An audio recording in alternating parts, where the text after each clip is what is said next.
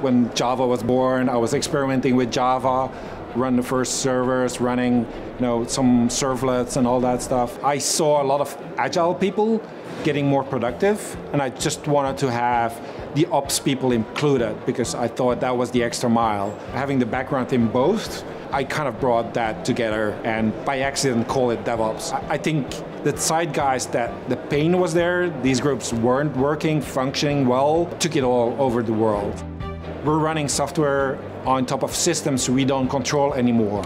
And so the real challenge will be like we just got dev and ops in our own company to work together, and now we have to figure out how to work together across companies. What if something fails in a situation that you have, don't have control on? Like how do you deal with that? So that's part of what, what I see as an evolution. The pitfall of any technician is over-engineering and focusing on the tools.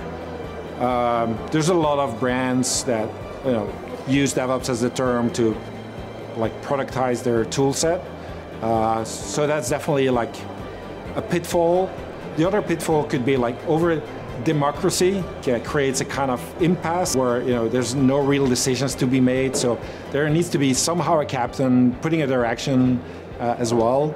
Uh, very similar to, let's say, the Linux kernel, who had like a strong leader, a lot of community. The other pitfall would be is that we see it as two groups collaborating on a technical level where we need to really align it on the business level.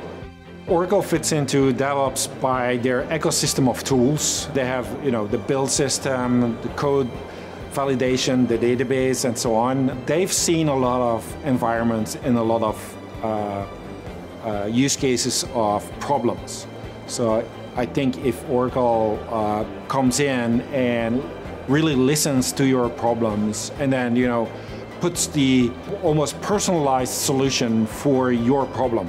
And I think the nice thing is there that they have the whole suite and the whole set of products. So they can bring the combinations that will fit your problem.